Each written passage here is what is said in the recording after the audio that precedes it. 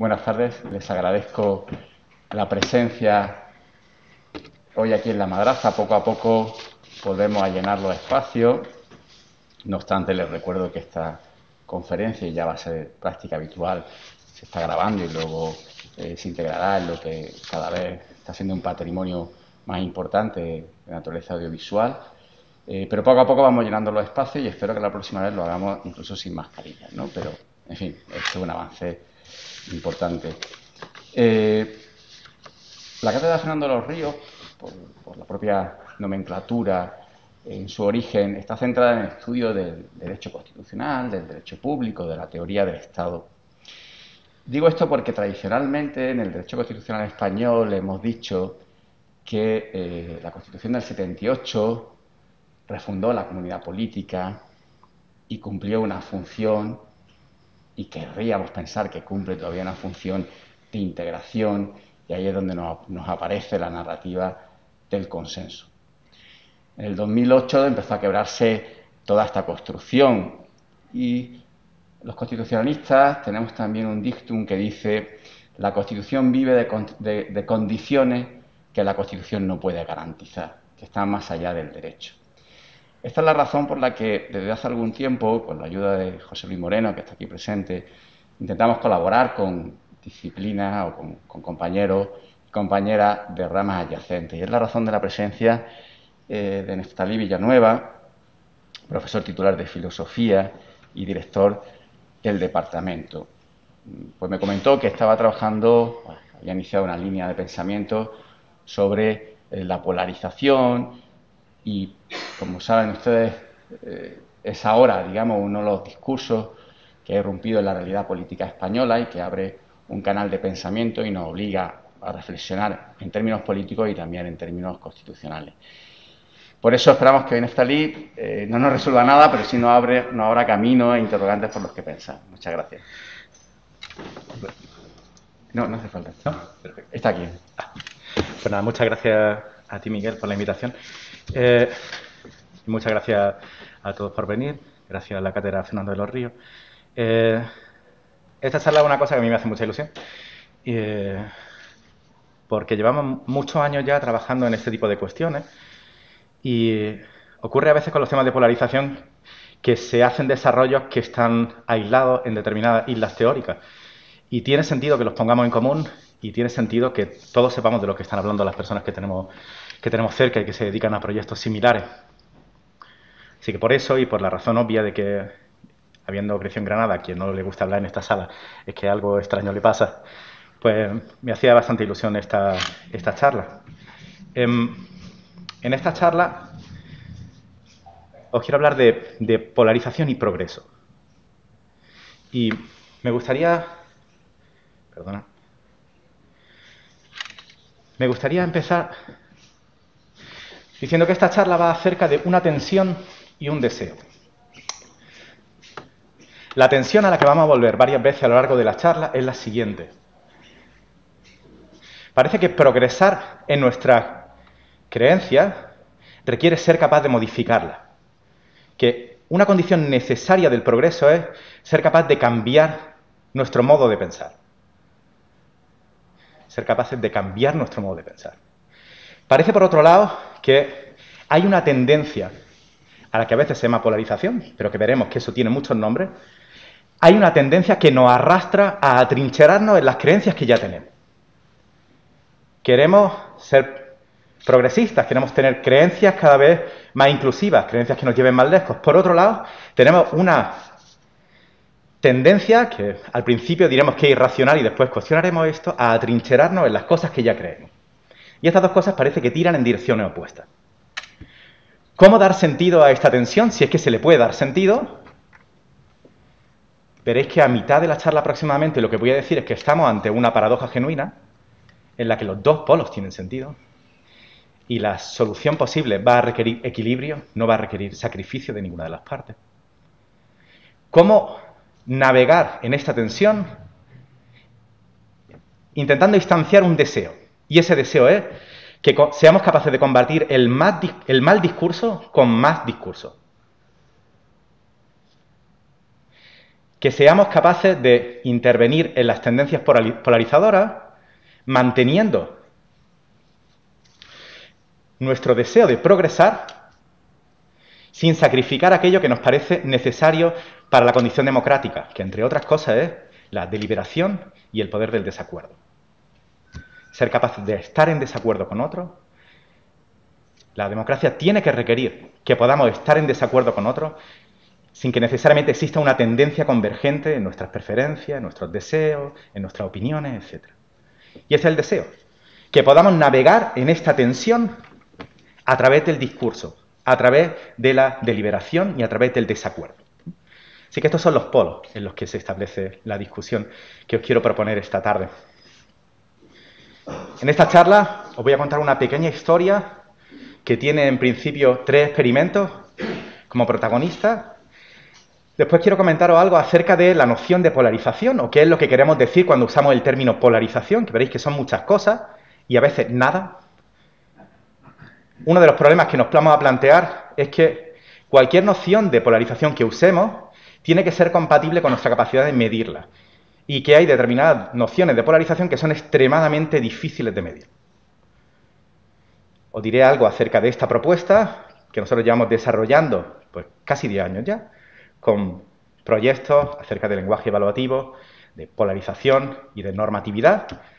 Y finalmente os comentaré algo acerca de cuáles son estas alternativas que tenemos para salir de esta tensión entre la polarización y el progreso a través del diálogo, del desacuerdo, de la deliberación. Este es un proyecto, como he comentado antes, en el que llevamos ya trabajando unos cuantos años. Los resultados que hay no son solo los resultados que he obtenido aisladamente, por supuesto, son resultados en los que han colaborado muchas personas, Manuel de Pinedo, José Luis Moreno Pestaña, Manuel Almagro, Iván Rodríguez Janicaine, que está aquí, Eduardo Pérez Navarro, Alba Moreno, y un largo etcétera de personas que a lo largo de estos años han colaborado en una u otra posición en, el proyecto que estamos desarrollando. Empiezo pues con esta pequeña historia que os quería contar al principio. Es una pequeña historia en tres etapas. La primera de ellas es un experimento de 1971. Tafel, que era un superviviente del holocausto, quería saber cuál es la condición mínima que nos hace agruparnos y comportarnos como un grupo. Comportarnos como un grupo quiere decir ser capaces de oponernos a los otros al punto de comportarnos irracionalmente. Así que se imaginó un, escenario en el que empezaba de algo absolutamente implausible. Cogía a unos cuantos niños de 14, 15 años, se conocían, eran del mismo colegio, y los llevó a una sala y les fueron pasando en principio diapositivas en las que aparecían grupos de puntos y se les pedía que estimaran cuántos puntos salían. Los niños iban diciendo aquello y aleatoriamente se, dividió a los niños en dos grupos. Los que sobreestimaban y los que infraestimaban el número de puntos. Fijaos que la tarea es trivial y que además la asignación de los grupos se hizo aleatoriamente. En una segunda tarea se les ponían cuadros de Paul Klee y de, y de Kandinsky y se les pedía que dijeran cuál era el que les gustaba más. E igualmente se les asignaban dos grupos. Como cada niño no había visto las respuestas de los otros, la asignación era de nuevo aleatoria. Una tarea aparentemente trivial, sobre todo desconectada de lo que se le iba a pedir luego, y dos grupos que se le asignaban aleatoriamente. No hay nada detrás de las preferencias estéticas, porque es que, sean cuales fueran las que estaban expresando, después se les asignaba el grupo aleatoriamente. Bueno, pues a continuación se les pedía que hiciesen una tarea en la que les contaban a qué grupo pertenecían y les pedían que repartiesen dinero. Tenían una serie de cantidades que ponían repartir algunas para su grupo y otras para el grupo contrario. Lo que se mostró fue que los sujetos estaban dispuestos a asignar estas cantidades de dinero de manera tal que castigaran al máximo al grupo contrario sin que eso, a pesar de que eso pudiera suponer que su propio grupo no obtuviera la máxima puntuación. Yo estoy en este tipo de contexto, me ponen que distribuya dinero entre una persona del otro grupo y yo mismo, y puedo darle a él cero y a mi grupo un punto, o darnos a los dos dos monedas. Pues existía una tendencia a dar una moneda para mi grupo y cero para el otro, porque eso constituía una diferencia entre mi grupo y el otro, antes que darme dos y dar dos al otro grupo, lo cual habría sido la forma racional de maximizar el dinero que obtenía mi grupo. Este fue el experimento de, de superviviente del holocausto, que intentaba encontrar cuál es la propiedad mínima que nos hace agruparnos y comportarnos irracionalmente con respecto a ese grupo y que se encontró que la propiedad mínima era ninguna. En 2007, esta es la segunda etapa de esta pequeña historia con la que quería empezar, se hace otro experimento, se publica en 2000, bueno, en 2007 se publica el experimento de 2005, se le conoce como el experimento de Colorado. En ese experimento se coge a personas de ese estado de Estados Unidos, algunas de ellas venían de Colorado Springs, que es una comunidad tradicionalmente conservadora, y otras de Boulder, que es una comunidad tradicionalmente eh, progresista dentro de Colorado. Se agrupaba a estas personas por grupos de progresistas y conservadores. Y se les pedía que discutieran acerca de tres temas que eran importantes en ese momento, matrimonio entre personas del mismo sexo, cuotas para las minorías y cambio climático. Lo que se encontró al hacer este experimento es que como resultado de la deliberación en estos grupos homogéneos, los conservadores moderados se convertían en conservadores radicales y los liberales moderados se convertían en liberales radicales al terminar esta deliberación. Parece que existe entonces una tendencia a radicalizarnos después de una discusión con aquellos que son como nosotros. ¿Será porque son como nosotros? Lo que necesitamos es heterogeneidad. Necesitamos introducir heterogeneidad en los grupos. Y esto es lo que, por ejemplo, motiva a quienes se ocupan de los objetivos de desarrollo sostenible a defender que para que las instituciones tengan grupos de toma de decisiones que resulten inclusivos, hay que garantizar la heterogeneidad de esos grupos. Eso es necesario. Pero como mostraron Bailey y otros en el 2018, pero también otro montón de gente, no es suficiente. No es suficiente. Lo que Bailey y otros intentaron mostrar es que si exponiéndonos a las opiniones de quienes piensan como nosotros nos polarizamos, el hecho de que nos expongamos a las opiniones de quienes piensan distinto no hace que no nos polaricemos más. Aquí lo que se hizo fue dar un incentivo económico para que un republicano siguiera un bot que retuiteaba material demócrata y al contrario, dar un incentivo a un demócrata para que siguiera a través de Twitter a un bot que retuiteaba sistemáticamente eh, información republicana. Lo que ocurrió fue que post tratamiento todos los sujetos que participaron acabaron más radicalizados que antes. Ocurrió más con los republicanos, pero también ocurrió con los demócratas. Resulta entonces que las condiciones para sentirnos parte de un grupo y comportarnos de manera aparentemente irracional con respecto a él son mínimas, que discutir con quienes son como nosotros nos polariza, pero también que discutir con quienes no son como nosotros termina haciéndonos más radicales de lo que ya pensamos. Un escenario que poco halagüeño para el deseo que expresamos al principio de esta charla, ese deseo de que combatiéramos el mal discurso con más discurso. ¿Cómo vamos a hacer esto? ¿Con quién vamos a hablar para contrarrestar esta, tendencia a la polarización? Si, si son como nosotros y si no son como nosotros, vamos a acabar más radicalizados. Parece que polarizarse o la polarización responde a este tipo de intuición, la que veis expresada en esta gráfica que está tomada de Pew Research, tomamos algo parecido a una distribución normal de la opinión pública y gradualmente con el tiempo vemos cómo se separan los bloques. Los bloques de los demócratas y los bloques de los republicanos aquí. Los valores de uno y de otro se van separando progresivamente. Esta imagen parece que es la que responde a nuestra idea intuitiva de que es polarizarse. Pero esta imagen es compatible con cosas que consideramos progreso. Por ejemplo, en este estudio 2017 de la misma fuente, de Pew Research, se les pregunta a los sujetos cosas como lo siguiente. lo que se mide es qué porcentaje de republicanos y de demócratas, los republicanos van en rojo, los demócratas van en azul, qué porcentaje de cada uno de ellos diría cosas como los afroamericanos que no pueden avanzar en este país son en, en mayor medida responsables de su propia condición.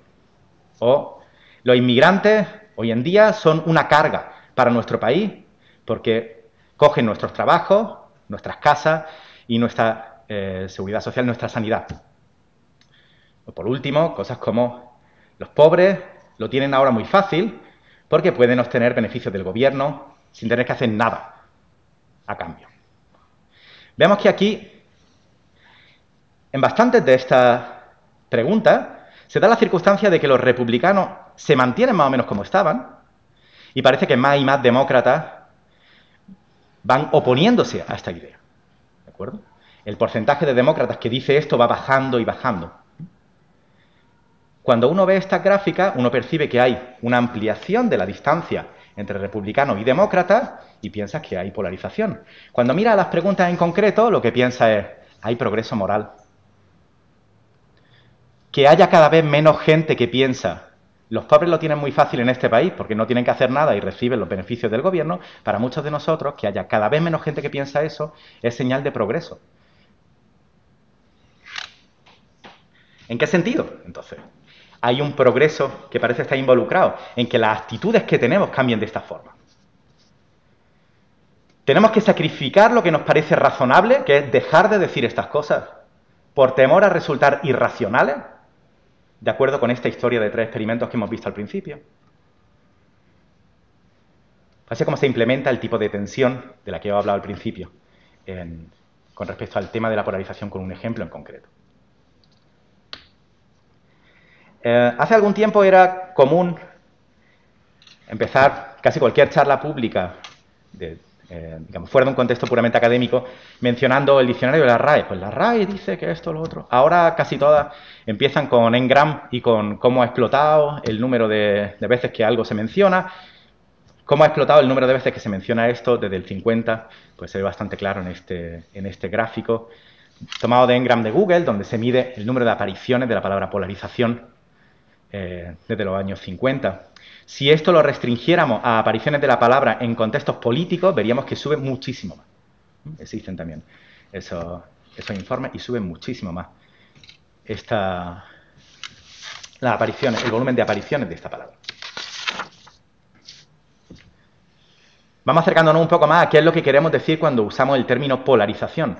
Y lo primero que me parece importante aquí es señalar que hay uso peyorativos del término se ha convertido casi en un lugar común, casi en un insulto, decir, no, es que tú estás polarizado, o como un sustituto de radical o de extremista, etc. Pero se nos olvida que a veces este término se usó con tintes positivos. En 1950, comentaba antes con, Miguel, hay un informe de la, de la Asociación Americana de Ciencia Política donde se recomienda a los partidos en Estados Unidos que por la salud de la democracia se polaricen más.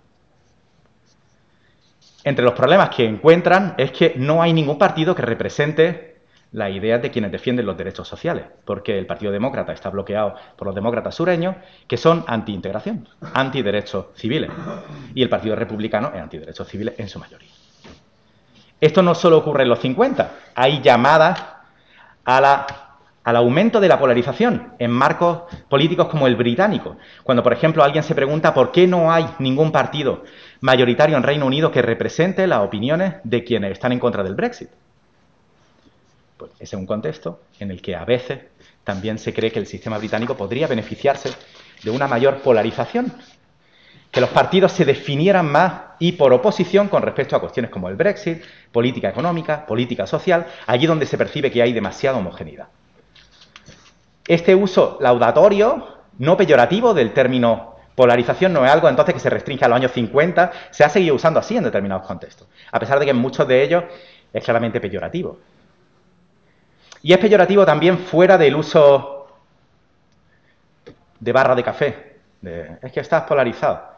Normalmente cuando se habla de polarización se habla de un fenómeno que pone en riesgo el funcionamiento de nuestras instituciones democráticas, en concreto de aquellas que tienen como objetivo garantizar que la toma de decisiones pasa por una serie de procesos correctamente regulados. En estos casos se habla de que este tipo de instituciones sufren en los contextos polarizados, porque en los contextos polarizados las partes han dejado de admitir como oponentes legítimos a los contrarios en el espectro político. Así que reconocen con más dificultad la labor de este tipo de instituciones.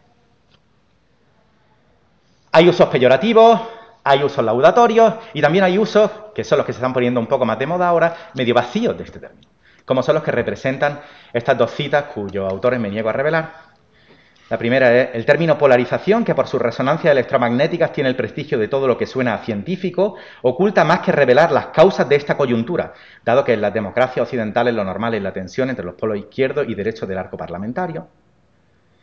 Polarización es un término vacío que sirve para ocultar otro tipo de problemas.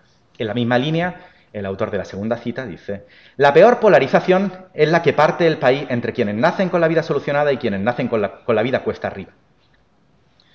Habláis mucho de polarización, pero aquí de lo que deberíamos hablar es de esta diferencia. Y todo lo que habláis de polarización es para encubrir estas diferencias fundamentales que os negáis a tratar. Este contexto lo pongo yo a la cita, pero garantizo que este es el contexto en el que se produce la cita. Estos usos vacíos que se ponen ahora de moda se pueden entender en determinada clave populista, pero pensarlos fuera de la idea de que quien esto escribe no ha leído nada acerca de la polarización política sería malentender los ejemplos. Unas cuantas cosas que podemos decir para ir progresando en nuestra comprensión de qué es lo que queremos decir cuando usamos el término polarización es que, en primer lugar, polarización en un sentido que ni siquiera tiene que ser técnico, solo semitécnico, es algo que no tiene sentido decir de personas en particular. Se polarizan los grupos, no se polarizan los individuos. A los individuos le ocurren cosas y como consecuencia se polarizan los grupos. Pero hablar de polarización no tiene sentido en ausencia de un grupo. Nada que le pueda ocurrir a un individuo aislado lo hace polarizarse. Solo porque existe una comunidad y porque hay distintas opiniones, es cuando podemos hablar de polarización. Si hay un holocausto nuclear mañana y solo queda vivo Eddie, el fundador de Edelweiss, el mundo sería un lugar horrible donde solo habría creencias absolutamente extremas. Pero no sería un mundo polarizado. ¿De acuerdo? No sería un mundo polarizado. Sería un mundo de creencias ridículas y extremas, pero no sería un mundo polarizado. La polarización solo tiene sentido con respecto a grupos. Así ha sido la tradición de estudio de este término y así es como se sigue usando dentro de la teoría de la literatura especializada en general. Para hablar de polarización política, tenemos que distinguir entre polarización de la élite política, polarización de los partidos, no es esto de lo que vamos a hablar, sino de la polarización de la opinión pública alrededor de cuestiones políticas. Lo que marca aquí político es que los temas con respecto a los cuales nos polarizamos son temas políticos. Esto es lo que quiere decir polarización política en este contexto. Hemos dicho que hay usos peyorativos, usos laudatorios, usos descriptivos seguramente, usos vacíos del término polarización. ¿Quiere esto decir que hay distintos conceptos de polarización o es solo uno que ha ido cambiando? Hay conceptos cuya polaridad evaluativa cambia con el tiempo. El término nice se introduce en inglés como heredero de nescio en latín y lleva un componente peyorativo cargado. Decimos de algo que es nice cuando decimos que es tonto, hay un componente peyorativo ahí. Ese componente se ha perdido con el tiempo. El concepto sigue siendo el mismo, tenía un tipo de carga negativa y esa carga negativa ha dejado de existir. ¿Le ha pasado eso al concepto polarización? Que en los años 50 se usaba de una manera que no era negativa y con el tiempo se ha convertido en algo peyorativo. La respuesta que nosotros hemos explorado es que esto no es lo que ha ocurrido, sino que hay detrás de estos distintos usos del término polarización en realidad conceptos diferentes de polarización hay conceptos diferentes de polarización. Y los dos conceptos que dominan la literatura y que han dominado nuestro modo de pensar acerca de esto, y en los que me voy a detener hoy, son los conceptos de polarización ideológica y polarización afectiva. La polarización que tiene que ver con lo que creemos, si creo que la puerta está abierta, si creo que la puerta está cerrada, cómo es la ventana, si creo que el techo es alto o no, lo que creemos, de polarización afectiva, que tiene que ver con mi actitud hacia lo que creo sobre todo con la confianza que deposito en lo que creo. Ya lo que me hace parte de un grupo polarizado no es que yo piense frente a otro que la puerta está abierta o no, sino que yo atribuyo un nivel de confianza, tengo un nivel de confianza bastante elevado en que la puerta está abierta. Diremos luego, atribuimos un nivel de probabilidad subjetiva muy alto a esa creencia. Lo que nos hace polarizado en este sentido, de polarización afectiva, no es por tanto lo que creemos, sino cuál es nuestra actitud, nuestro sentimiento hacia lo que creemos.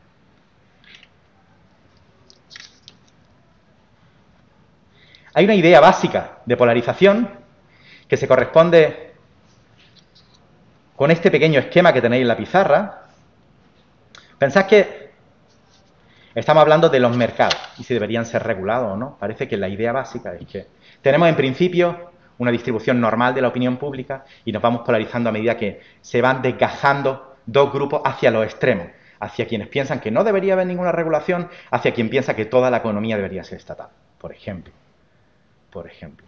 Si tenéis dudas acerca de cómo se construye este espectro, estáis en el buen camino, en el camino de algo sobre lo que pararemos un poco más tarde. ¿Por qué está esto en un extremo? ¿Por qué está esto? ¿Es malo irse hacia estos extremos? Pensaremos sobre esto en unos minutos.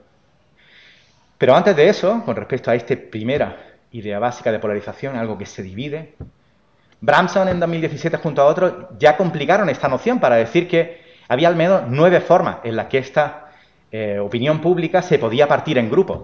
No hace falta que sea dos, pueden ser más de dos. No hace falta que se vayan a los extremos, se pueden quedar más cerca. La polarización puede tener que ver con cuánto se distancian uno de otro, no con que estén cerca del extremo no. Y así hasta nueve maneras de construir esa distribución normal.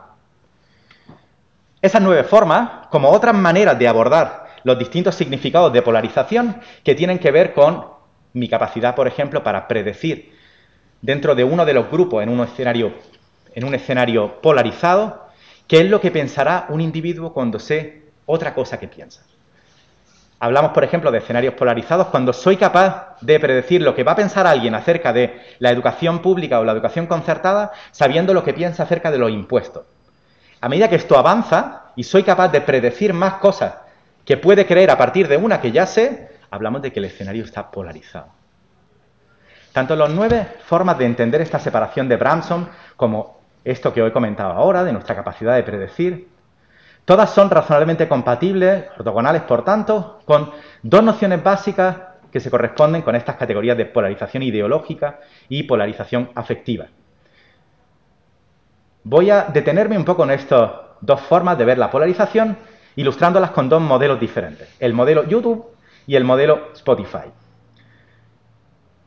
No me comprometo con que el algoritmo de cada una de estas plataformas funcione como voy a decir, porque los algoritmos han cambiado en mucho, eh, han cambiado en los últimos años, pero sí que algo de lo que voy a decir acerca de cómo funciona el algoritmo espero que sirva para que os reconozcáis en vuestro uso de estas plataformas.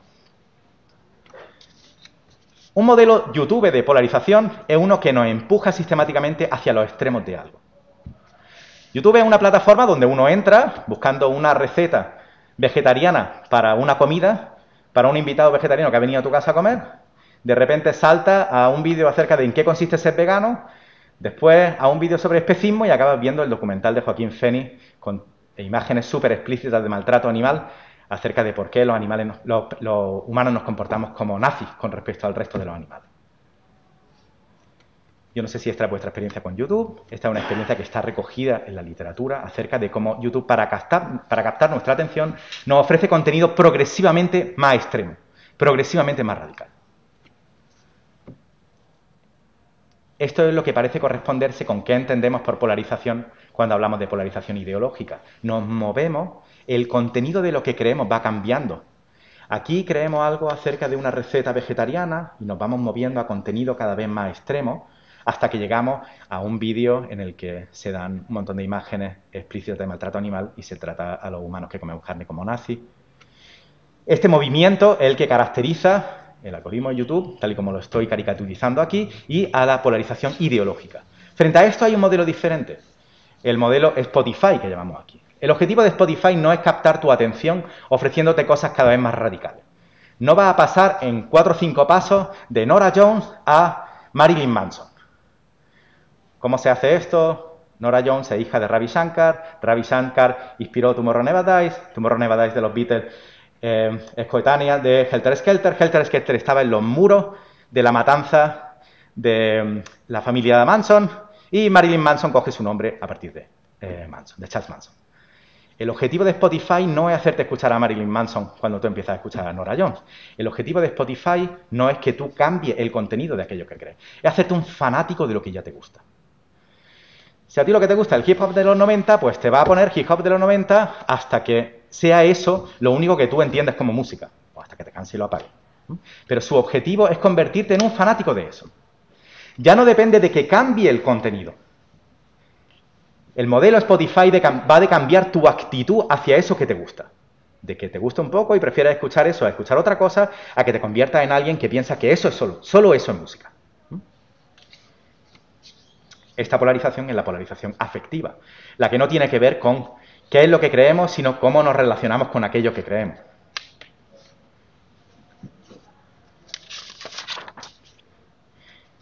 Problemas con este primer modelo, pues hay muchos, aquí em, he recogido unos cuantos para comentároslo. El primero de ellos es que hay una especie de sublimación del punto medio. Por una especie de prurito aristotélico, que seguro que está mal entendido, lo que ocurre es que cualquiera que esté en el punto medio de cualquier tipo de espectro es alguien virtuoso por definición. Esto ya es algo problemático per se por el nivel de idealización que conlleva, pero si uno presta atención al tablero político, seguro que la mayor parte de vosotros y vosotras ha conocido a radicales de centro. Estos radicales de centro no pueden existir si lo que te convierte en alguien que está radicalizado es acercarte a los límites de un espectro político. Hay una sublimación del punto, una sublimación injustificada del punto medio. Se da, por otro lado, la circunstancia de que, como algunas de vosotras seguramente habéis podido ir percibiendo cuando hemos puesto ejemplos de espectro ideológico, describir cualquier espectro ideológico supone un nivel de idealización muy grande que a su vez requiere que uno adopte una determinada perspectiva acerca de cuáles son los extremos en este espectro ideológico. ¿Por qué se construye así? Los espectros ideológicos no están construidos así de antemano, los construimos nosotros y normalmente lo construimos con una perspectiva que responde a nuestros intereses. Este es otro de los problemas de la polarización ideológica. El tercero tiene que ver con problemas prácticos. Problemas que afectan a cómo queremos medir la polarización ideológica, pero cómo a veces nos encontramos con problemas para ello. Y aquí os quiero contar tres ejemplos en relación con esto. El primero eh, tiene que ver con un libro que escribió Philippe Legren acerca de la inmigración. Ahí cuenta Philippe Legren que antes, justo antes del voto del Brexit, se hace una encuesta de la población británica y los británicos creen, la, parte pro-Brexit, cree que... Aquí tengo que pensar bien cómo iban, cómo iban los datos de esto. El 20% de la población, los británicos en general, creen que el 20% de la población son inmigrantes de la Unión Europea. El 20% del total de la población británica son inmigrantes de la Unión Europea. Además de eso, creen que uno de cada cuatro personas del Reino Unido son inmigrantes. Si yo creo que uno de cada cuatro personas del Reino Unido son inmigrantes y creo que el 20% de la población son inmigrantes de la Unión Europea y creo que el, el 20% de la población total son de la Unión Europea, lo que pienso es que hay un 80% de población inmigrante en Reino Unido. O sea, si creo que el 20% de los inmigrantes son de la Unión Europea y creo que uno de cada cuatro inmigrantes son europeos, lo que se sigue de eso es que creo que el 80% de la población de Reino Unido, el del total, es población inmigrante. Obviamente nadie cree esto. O sea, nadie está tan loco como para pensar que el 80% de la población británica es población inmigrante. A lo mejor alguien sí, pero no es lo normal. La cuestión aquí es, algo tan absolutamente irracional como estas creencias expresadas, sirven para atribuir este contenido a las personas que dicen creer eso. Alguien a quien tú le das un cuestionario y dice, sí, sí, yo creo esto, creo que hay un, 20% eh, de población eh, europea, eh, creo que además uno de cada cuatro de los inmigrantes son europeos. ¿Qué base tenemos para decir que de verdad creen eso? Cuando lo que están creyendo es tan obviamente irracional. La respuesta de Legren es que en realidad no están expresando una creencia. En realidad lo que están expresando es adhesión a una determinada identidad política. La identidad política con la que quieren asociarse en ese momento. Eso es lo que están expresando, más allá de una serie de creencias. En el contexto español, aquí, eh, pues uno de los ejemplos que, en los que pensamos habitualmente es el ejemplo de la Constitución española. Eh, la ficha técnica no sé si la veis pero este es un estudio que se hizo en 2016. Y en ese estudio hay un porcentaje importante de población española que muestra tener opiniones muy taxativas acerca de la Constitución. Si habría que cambiarla, si no habría que cambiarla, qué es lo que habría que hacer con ella, etc. ¿Sigue siendo válida la Constitución del 78? El 57,8% sí que, por supuesto, sigue siendo válida. ¿Cree necesario reformarla en algunos aspectos? El 65,7% creen que hay que reformarla en algunos aspectos. Y así sucesivamente. La gente muestra tener unas opiniones muy fuertes con respecto a algunas cuestiones de la Constitución. Y sin embargo, al final se les pregunta a la gente si la ha leído. Y el 46,6% dice que no ha leído nada de la Constitución. No un poco, No entera nada. Hay una gran parte de este 46,6% que no ha leído nada de la Constitución, que sin embargo responde taxativamente a cuestiones de contenido acerca de cómo es la Constitución, hay que cambiarla o no, etc. Tenemos derecho a atribuir las creencias acerca de las primeras cuestiones a gente que obviamente sabe tan poco de la Constitución. Pues no lo sé. No lo sé. Este tipo de dificultades son las que hacen que medir polarización ideológica en este sentido sea un poco complicado. Yo ya sé que uno puede saber la Constitución no sin necesidad de haberla leído. ¿de? Este ejemplo está para ilustrar este punto. A pesar de que me resulta extraño que ese 46,6% que no ha leído la Constitución, que sin embargo contesta parte de ese 46,6% contesta taxativamente algunas de las otras cuestiones, todo eso sea gente que sean expertos en la Constitución por vía indirecta. Eso es una hipótesis difícil de entender. Al final, todos estos problemas que podemos asociar con la noción de YouTube de polarización, con la polarización ideológica, nos tienen que llevar a pensar que de qué hablemos cuando hablemos de polarización tiene que ver con cómo la podemos medir, cuáles son las idealizaciones que están involucradas en el concepto, pero tiene que haber otro motor por debajo de eso, que sea qué es lo que queremos hacer con el término. ¿Para qué queremos usar el concepto? ¿Qué es lo que queremos hacer? Y si estamos convencidos de que los procesos de polarización son peligrosos para las democracias y queremos tener mecanismos que nos permitan detectar estos procesos de incremento de la polarización, a lo mejor una noción de polarización que tiene tantos problemas para medirse y para construirse no es la noción que mejor nos está sirviendo. La alternativa a esto es el modelo Spotify, como os comentaba, donde la clave no es lo que creemos, sino nuestra relación con eso que creemos. No es, la clave no es si creemos que la puerta está abierta o está cerrada, sino con qué nivel de confianza creemos en eso. Lo que hace que la opinión pública esté polarizada no es solo, no es la distancia entre esta opinión y esta, sino cuál es el nivel de confianza que ambos grupos exhiben con respecto a esas opiniones.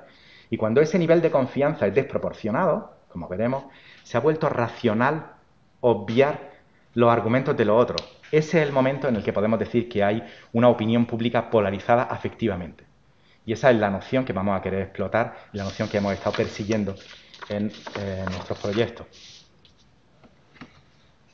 Aumenta entonces ese grado de confianza, la credibilidad, la probabilidad subjetiva que asociamos con determinadas creencias. Por supuesto, esta noción de polarización tampoco está exenta de problemas. Volvemos a tener problemas para medir esto. Uno de ellos, quizá el, más obvio, es que la polarización eh, afectiva depende de cómo seamos capaces de leer la animadversión, los afectos de la gente. Y eso, a través de los cuestionarios de autoinforme, es razonablemente complicado.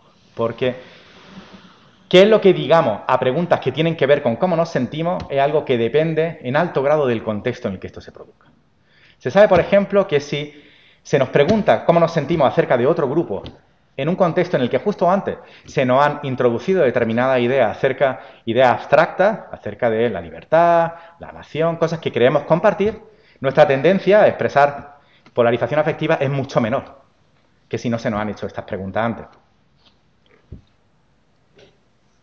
Además hay otro problema quizá un poco más general, y que es un problema de naturaleza un pelín más filosófica, que os comento aquí. Parece que cuando uno cree que... Bueno, este es un problema que se ha tematizado de otra manera en las ciencias sociales desde siempre, pero que yo aquí lo ofrezco desde una perspectiva distinta. Parece que cuando uno cree que un cuestionario de autoinforme va a ser suficiente para conocer el nivel de polarización afectiva, uno está imaginándose lo que ocurre en la mente de la gente como si fuera la mente una casa. Una casa de la cual el propietario tiene la llave el propietario entra y es capaz de, con la atención, ir buscando por los rincones y ser capaz de identificar dónde estaban esas ideas que le oponen a lo otro. Hay otras formas de concebir lo que es la mente, cómo funcionan nuestros estados mentales. Hay formas de concebir qué son los estados mentales que tienen que ver con que estar en determinado estado mental, exhibir animadversión hacia determinado grupo, no tiene tanto que ver con algo que descubro mediante la introspección y la sinceridad, como con qué es lo que tiene sentido para explicar mi comportamiento en público. con cuáles son los compromisos que yo adquiero. Esta forma de entender qué es lo mental y qué son estos estados afectivos tiene también bastante que ver con las supuestas limitaciones de la manera en que habitualmente se mide la polarización afectiva. Sin hacer sangre, la encuesta reciente acerca de polarización y polarización afectiva en España, todas empiezan por preguntas generales, como respecto al clima político que vive nuestro país, ¿considera que en la actualidad el nivel de crispación y enfrentamiento en España es mayor o igual que hace cuatro años? Son preguntas generales, no acerca de mí, acerca de la situación política, me preguntan por la crispación en general. Y solo al final de la encuesta, esto pasa en las tres que tenéis ahí, en la de DB40, el Instituto Catalán Internacional por la Paz y la del CEMOP, que es más reciente, de la Universidad de Murcia, solo al final se me preguntan cosas en las que yo voy a expresar de manera un poco más natural mi animadversión hacia, otro, hacia el otro grupo. Como, ¿qué pensaría usted de que su hijo, hija o usted mismo mantuviera una relación de pareja con una persona que vota a un partido de una ideología abiertamente contraria a la suya? Cuando yo respondo a este tipo de preguntas, en otra encuesta era, ¿estarías dispuesto a tomarte algo con alguien que sea de este partido o del otro? Cuando yo respondo a ese tipo de preguntas en un contexto apropiado, estoy expresando mi actitud afectiva. Si me han colocado antes 25 preguntas que van acerca de la situación en general, de la libertad y de la crispación en términos generales, lo más probable es que mi respuesta a la pregunta 25-27 sea sesgada en alguna medida. ¿Quiere eso decir que estos estudios están mal? No. Estos estudios nos aportan información muy valiosa. Lo único que esto quiere decir es que tenemos necesidad de buscar alternativas para el modo en el que construimos, el modo en el que medimos la polarización. Si queremos que nuestra noción de polarización nos lleve a herramientas que nos permitan detectar pronto lo que está ocurriendo cuando nos estamos polarizando, entonces tenemos que mirar a indicadores indirectos. Estos indicadores indirectos pueden ser preguntas como la última que he mencionado en contextos apropiados o pueden ser indicadores que tengan que ver con el comportamiento exhibido de los agentes. No con cuestionarios de autoinforme, que son útiles, sino que también con el comportamiento exhibido de los agentes. Y es por eso que nosotros miramos al análisis del discurso público. Al análisis del discurso público. Lo que nosotros vamos a perseguir son indicadores indirectos del aumento de la polarización mediante el análisis del discurso público. Antes de meterme un poco al final de esta, para cerrar la charla, en qué tipo de cosas hemos estado haciendo con estos indicadores del aumento de la polarización en el discurso público, me gustaría complicar un poco más esta tensión que introdujimos al principio y que ya va adquiriendo otros tintes. Esta tensión que era cómo compaginamos nuestro deseo de progresar, que parece tener como condición necesaria cambiar de opinión, nuestra capacidad de cambiar de opinión, con esa tendencia que parecemos exhibir a atrincherarnos en nuestras creencias, incluso para hacernos parte de un grupo, incluso cuando eso nos convierte en seres irracionales. Lo que ahora quiero contaros un poco es por qué atrincherarnos en nuestras creencias no es siempre irracional. Al tener de nuevo la tensión, esta vez entre dos polos que no son irracionales, la tensión se va a convertir en más problemática. Y esto va a ser una situación aporética, una situación paradójica. Una situación que parece no tener salida inmediata. Aquí la historia que os voy a contar brevemente es la historia de una ola de calor en Chicago en 1994 hubo una ola de calor que hizo que se alcanzaran temperaturas propias de Kuala Lumpur en Chicago. Como resultado de esta ola de calor, que al principio la gente se tomó a la ligera, pues empezó a cortarse la electricidad, dejó de haber agua en las plantas altas porque no funcionaban las bombas para subir el agua, y la gente empezó a morir al final. Y hubo un superávit de 793 muertes en la semana del 14 al 20 de julio de 1994 un superávit de muerte. El autor del, del libro en el que esto se explica, se llama Infraestructura Social, Palacios para el Pueblo, lo que dice que más le llamó la atención es que cuál fuera el impacto de la ola de calor no parecía depender solo de cuáles fueran las condiciones socioeconómicas de los barrios a los que se miraba. Por supuesto, ocho de los diez barrios más castigados eran barrios terribles desde el punto de vista socioeconómico, segregación racial, violencia, pobreza, etc. Pero tres de los barrios a los que mejor le había ido también eran barrios que tenían una construcción demográfica similar, índices similares de violencia y de, y de pobreza. Y esto le llamó la atención al autor del libro. Y entonces él se dedicó a comparar dos barrios, aquí tenéis fotos de, de ambos barrios, y a preguntarse qué era lo que diferenciaba una cosa de la otra. Lo que él pensaba era que Parte de lo que hace que la gente tenga más posibilidad de morir no es solo tener un aire acondicionado, lo cual reducía un 80% tu posibilidad de morir en ese contexto, sino también que formaras parte de una comunidad, una comunidad estrecha, en la que sistemáticamente se comprobaba cómo estaba y nadie se quedaba solo. Esto reducía enormemente tus posibilidades de morir con la hora de calor.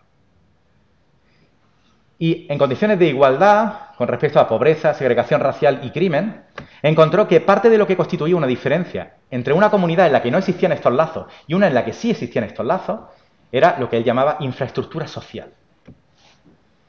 Infraestructura social, las condiciones físicas que posibilitan el aumento del capital social, la interacción entre uno y otro. Vemos un barrio aquí en el que los jardines de las casas están cuidados, los paseos por los que uno puede ir, hay jardines, hay zonas verdes, hay tiendas y otro barrio donde las casas parece que han sido bombardeadas y donde no hay zonas de reunión de ningún tipo. Este es el tipo de cosas a las que presta atención este autor. De una manera similar podemos pensar en los beneficios que uno obtiene de nuestra tendencia a asociarnos con determinado grupo. El valor que para uno tiene ser parte de un grupo estrecho. Homogenizar el grupo al que uno, con el que uno se identifica en un contexto determinado. Y para eso es fundamental que nuestra dieta informativa nos permita atrincherarnos en determinadas creencias que son comunes a ese grupo al que queremos pertenecer. Cuando a veces ser parte de este tipo de comunidades cerradas es una cuestión de vida y muerte. La polarización no solo no es irracional, esta polarización que nos permite ser parte de grupos estrechos, no es solo irracional, no solo no es irracional, porque nos permite a veces constituir este tipo de comunidades, sino, al menos por otros argumentos, que voy a repasar muy rápido, cuando nos encontramos ante un desacuerdo, cuando nos encontramos con gente que piensa distinto de cómo pensamos nosotros, no siempre lo racional es reducir nuestro nivel de confianza o simplemente cambiar de opinión. A veces la ciencia avanza porque adoptamos una posición que se llama en la literatura una posición beligerante, y es que decidimos defender nuestra idea hasta las últimas consecuencias. Y a veces eso es lo que hace que la ciencia avance. A veces eso es lo que conduce a la verdad de una manera más directa y no reducir nuestro nivel de confianza. Parece que en estos casos es racional, es racional atrincherarse, es racional mantener ese nivel de confianza. Por otro lado, siendo parte de un clima informacional donde hay campañas constantes para la modificación de la opinión pública, lo normal es que uno intente proteger sus creencias de este tipo de campañas. Y esto requiere a veces que uno preste menos atención a los argumentos de quienes no piensan como uno. Esto es una cosa que hacemos a diario. Cuando obviamos todos los vídeos del terraplanismo, obviamos toda la información de los terraplanistas, estamos haciendo esto. Yo no soy un experto en geología, pero sé que la confianza que yo otorgo a la creencia de que la Tierra es plana es suficiente como para obviar toda la información que viene de quienes creen que no es plana, de quienes creen que es plana, perdonadme. Pasa con las teorías de la conspiración. Yo no sé lo suficiente acerca de lo que pasó en las Torres Gemelas, pero sé que no voy a dedicar 10 horas de mi vida al día a eh, investigar si aquello fue una demolición o fue un atentado. Simplemente no lo voy a hacer. De Miguel Bosé hablamos en la discusión. Esta tensión es entonces peor de lo que pensábamos, porque no se trata ya de resistirse a una tendencia irracional frente a el progreso. No, es que esa tendencia no siempre es irracional.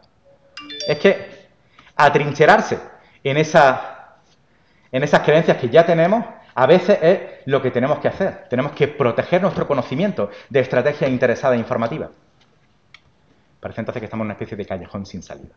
Y ante este callejón sin salida es ante el que planteamos el tipo de hipótesis que nosotros hemos desarrollado en nuestro trabajo y que voy a repasar muy brevemente para acabar esta charla. La primera de ellas tiene que ver con un estudio que realizamos acerca de las opiniones acerca de la distribución territorial en España. El CIS pregunta sobre esto desde los años 80 y aquí tenéis un gráfico de cómo evolucionó esa, cómo evolucionaron esas opiniones. Fijaos que en 1984 por debajo de un 12% pensaba que el Estado debería organizarse como un Estado único, con un único gobierno central sin autonomía. Sigue muy muy bajo hasta que en 2008 empieza a subir y se coloca en un 24 y pico por ciento. Y, ahí se mantiene, ¿de acuerdo?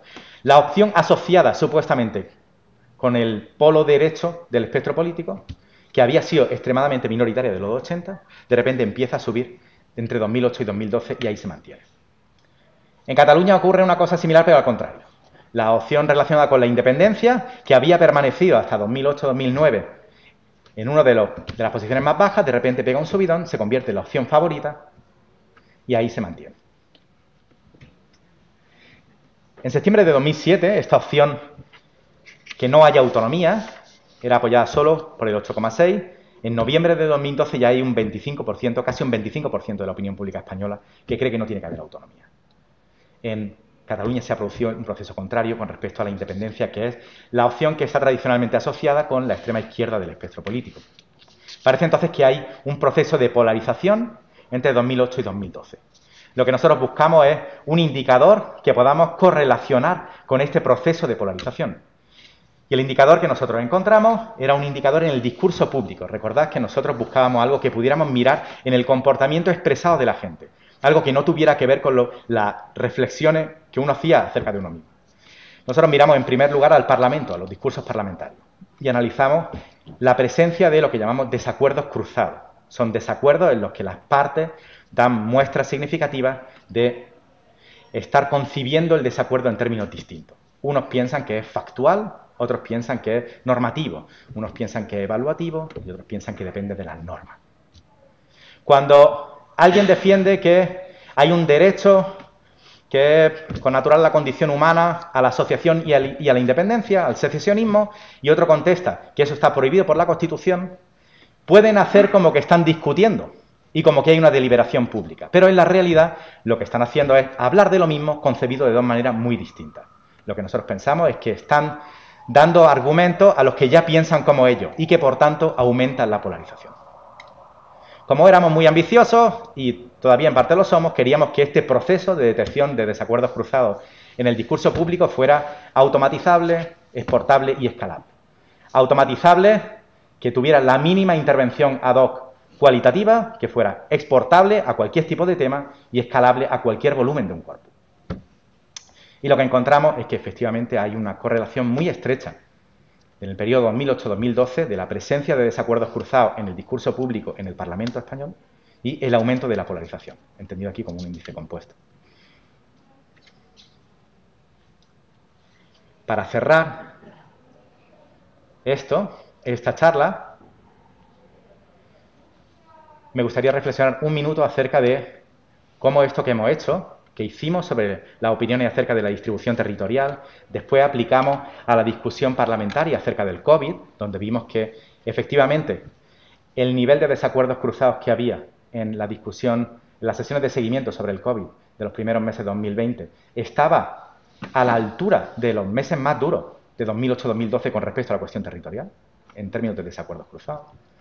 Ahora estamos intentando ver el auge de la polarización con respecto a la inmigración en Andalucía en el periodo que llevó en 2018 a los buenos resultados de Vox, aplicando el mismo tipo de método, pero en este caso en otra instancia de discurso público, que es la prensa.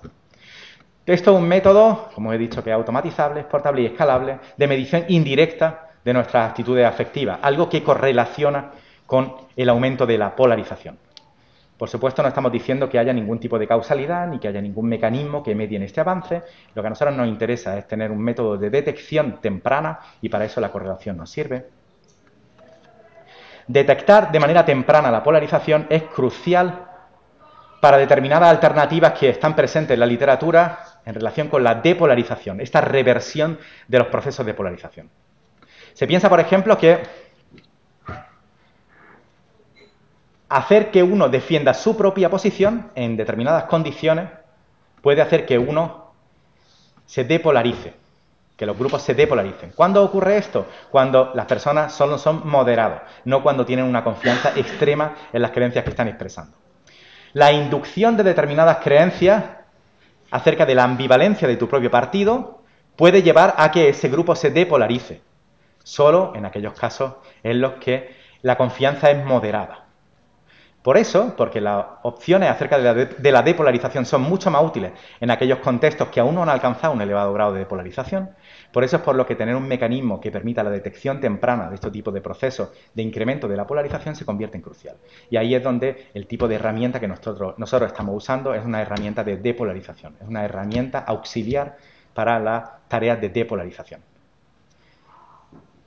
Hay además métodos de depolarización que podemos llamar individuales y otros que tienen que ver con iniciativas más institucionales, estructurales. Algunos de ellos tienen que ver, se ven más afectadas por nuestra capacidad, si la tenemos, de detectar de manera temprana los procesos de polarización y otras menos. A veces se habla de este tipo de mindfulness informativo. Uno lucha contra la tendencia a polarizarse cuando uno se hace consciente de cuáles son las estrategias que hay detrás de tus dietas de consumo de información. Esto no es más que saber reconocer estrategias de propaganda y cómo resistirse a ellas. Finalmente, hay otras estrategias institucionales que tienen que ver con qué cosas puede hacer para reducir estos procesos de polarización a través de los gobiernos, a través de cómo se ordena un Estado. Esas estrategias son cosas como prohibir el filibusterismo allí donde es posible. El filibusterismo, sabéis que es un fenómeno que tiene que ver con el retraso de la aprobación de una ley hasta que ésta muere a costa de tirarse hablando mucho tiempo. Eh, reordenar el modo en el que se circunscriben los circuitos electorales, por ejemplo en Estados Unidos, facilitar el voto, etcétera, etcétera. Son todas alternativas institucionales que pueden constituir eh, un descenso en la polarización.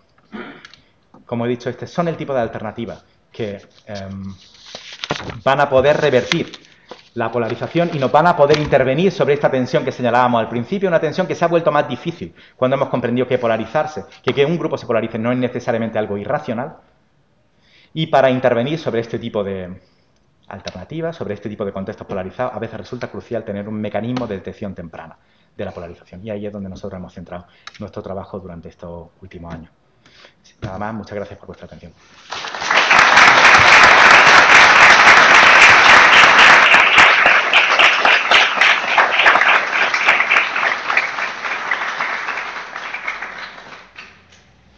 Muchas gracias, Salí. Muy, muy sugerente esa tensión, ¿no? esa necesidad de polarizarse para sobrevivir, pero al mismo tiempo esos riesgos que, lleva la polarización. Y ahora es el tiempo de, hablar de Miguel Bosé, ¿no? de eh, aquellas opiniones o preguntas que el auditorio quiera, quiera expresar.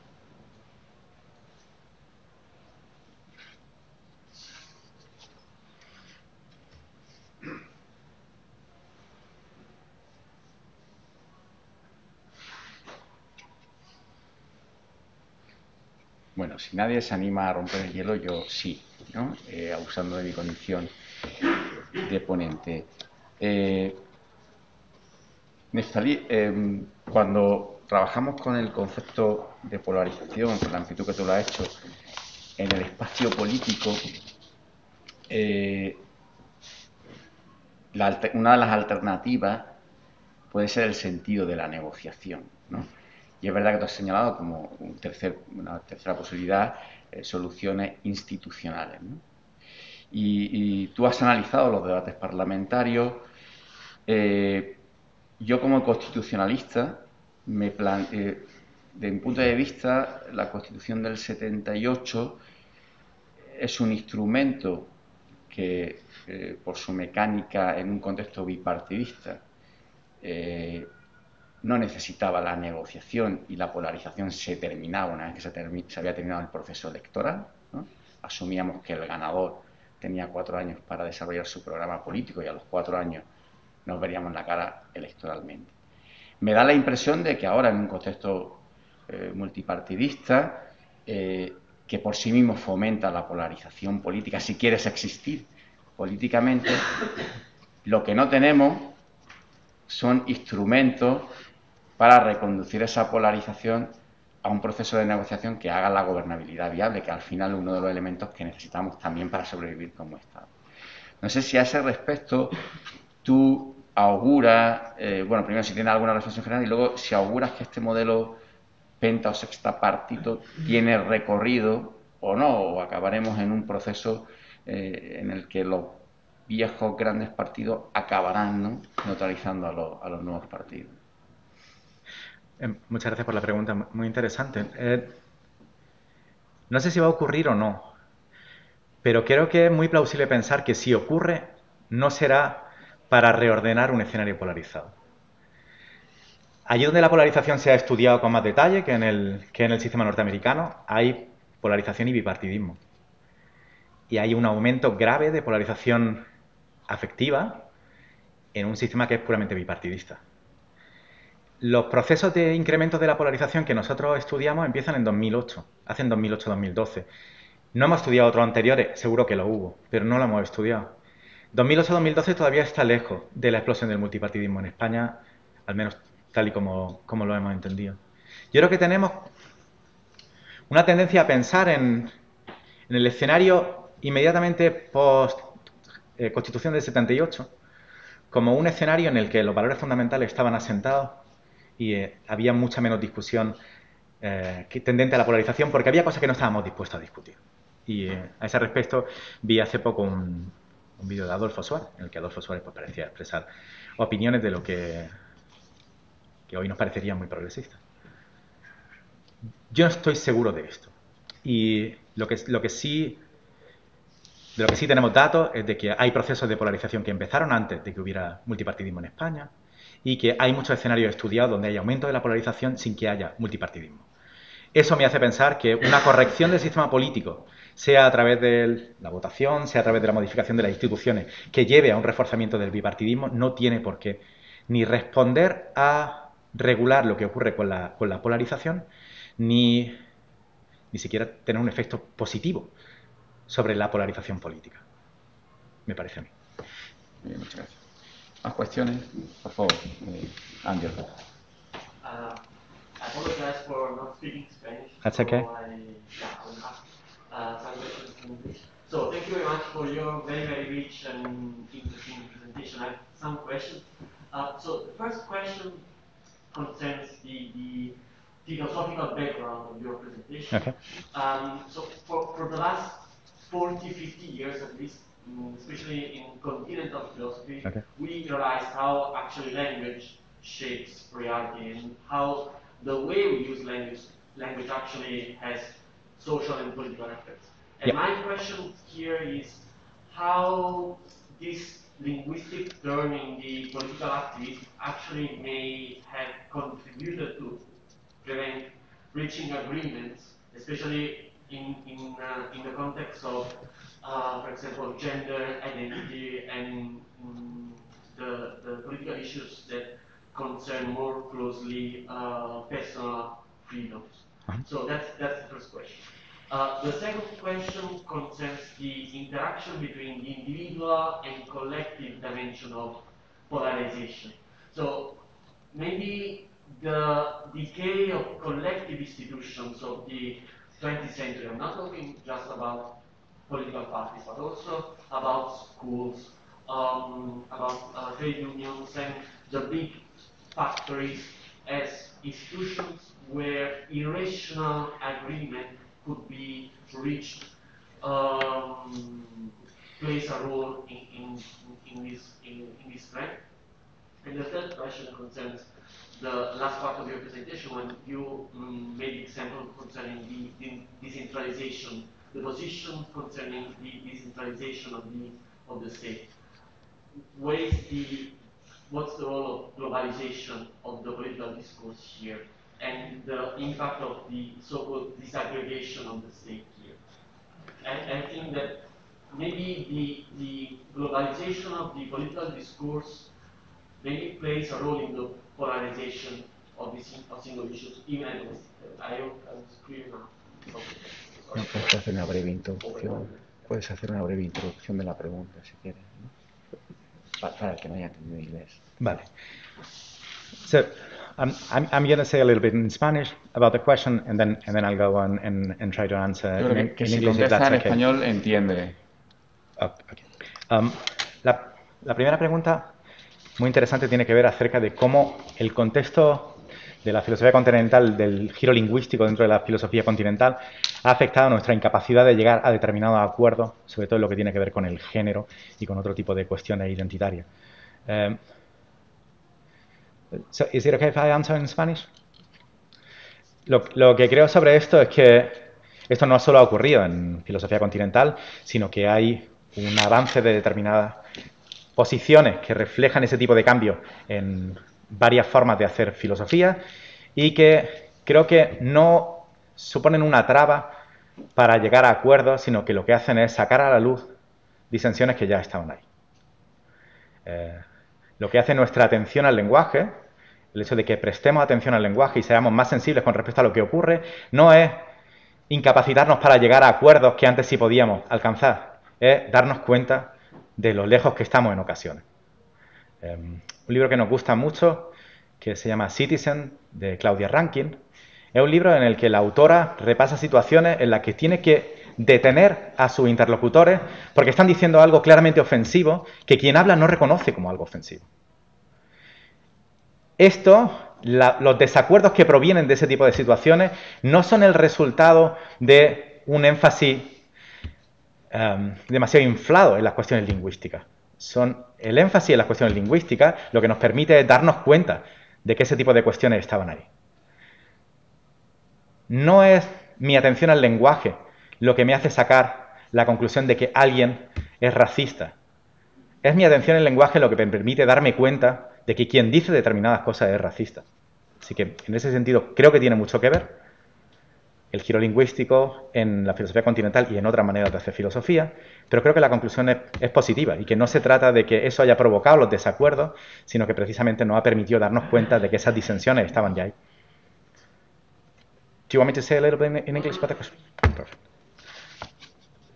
La, segunda, me parece muy buena la sugerencia de que es posible que el declive de determinadas instituciones que habían funcionado como elementos de agregación vaya de la mano del aumento de la polarización.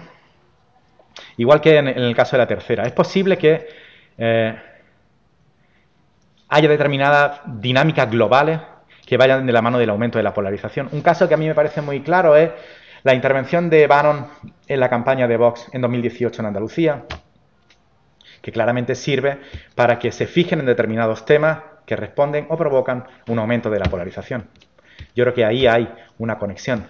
Pero tanto en el caso del declive de las instituciones como en el caso de la influencia global, creo que estamos con razón hablando de las causas del aumento de la globalización.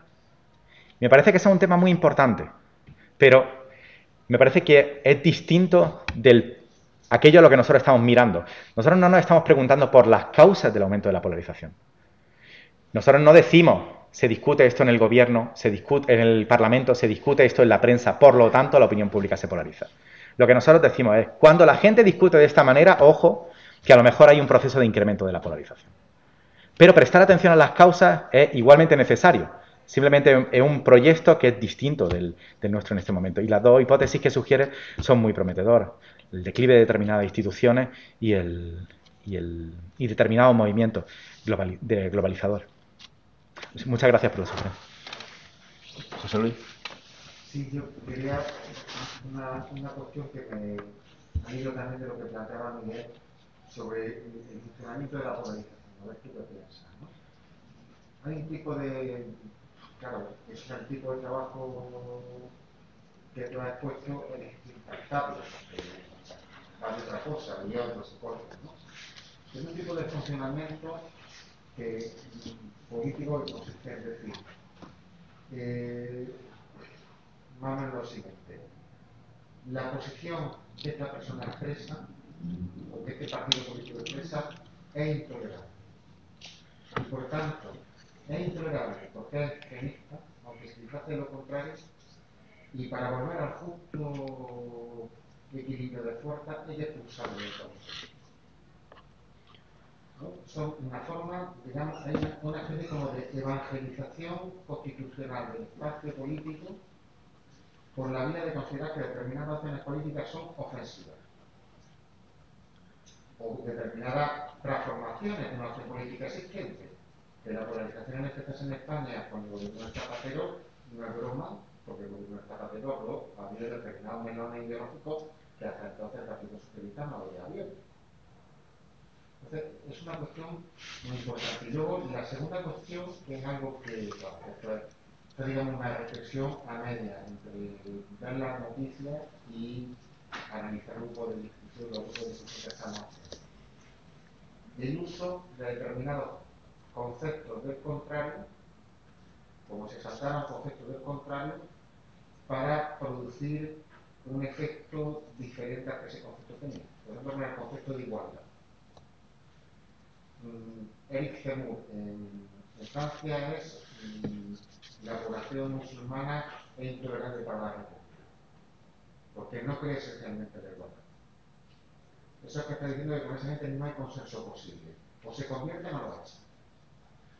Es lo que, por ejemplo, curiosamente aparece en los grupos de discusión que estamos haciendo. La gente no dice hay que echar a los musulmanes, la gente dice son machistas. Hay que, echarlos porque, hay que echarlos porque son irremediablemente machistas. Efectivamente, eso se dice en un contexto en que uno oye muy claramente la sinfonía derechista es drag. Pero es como una protección del concepto de igualdad y de feminismo para decir exactamente lo contrario. Pero el funcionamiento es el mismo. En el primer caso, yo cojo la democracia para que esta gente es intolerable para la democracia. Es que la democracia no puede existir con esto o diciendo estas cosas.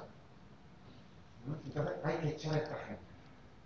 En el segundo caso es, yo robo conceptos, de del campo del enemigo, o del campo del contrincante, por no decir enemigo, para poner al grupo como gente que es imposible vivir con él.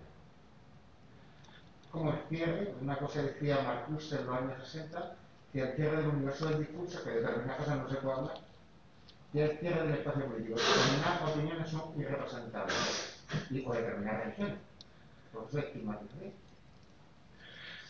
Ah, muy interesante las dos cosas que en realidad están relacionadas y tiene que ver con, si te he entendido bien, con cuándo los procesos de incremento de la polarización o en, qué medida llevan de manera necesaria a situaciones en las que se considera a los, a los contrincantes como a los, los, adversarios como enemigos, gente que no tiene derecho a estar en el espacio político en el que tú desarrollas tu tarea.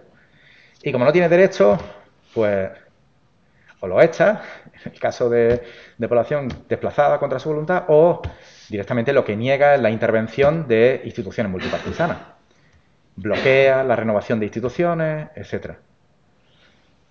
Me parece que para que uno desarrolle el, nivel de animadversión que le lleva a considerar que los otros no son interlocutores legítimos, es casi condición necesaria, en la mayor parte de los casos, hay una condición previa que es que uno tenga una seguridad tal en las creencias que constituyen el núcleo de tu identidad política, que se te haya vuelto irracional considerar que los otros pueden tener razón.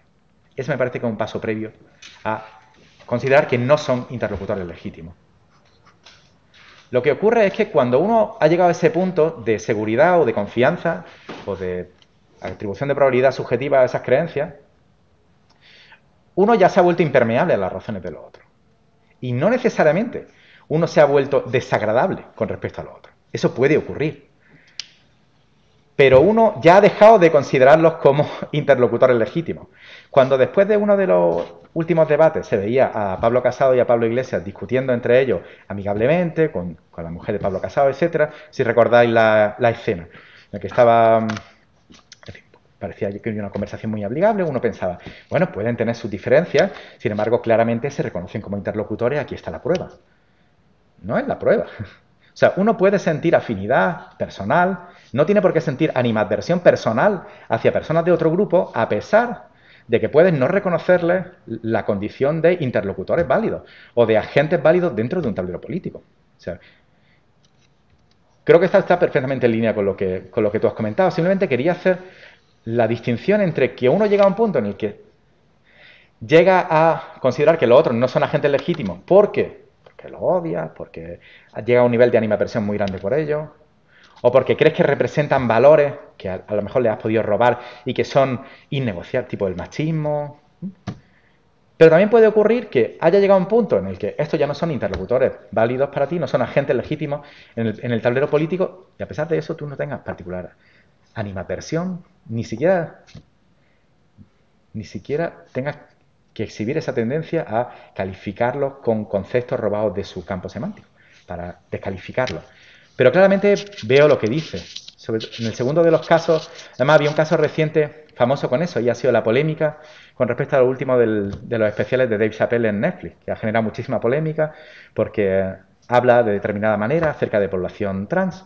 Y entonces pues había mucha polémica y nunca han sido tan felices determinados medios conservadores como ahora que han podido decir a la población trans o con afinidad por los derechos de las personas trans, ahora meteo con Dave Chappelle. Ahora Dave Chappelle está de nuestro lado y ahora cogemos todo el discurso de la injusticia estructural asociada a la segregación por motivos de raza y lo cogemos ese discurso y lo volvemos en contra del colectivo que defiende los derechos de las personas trans.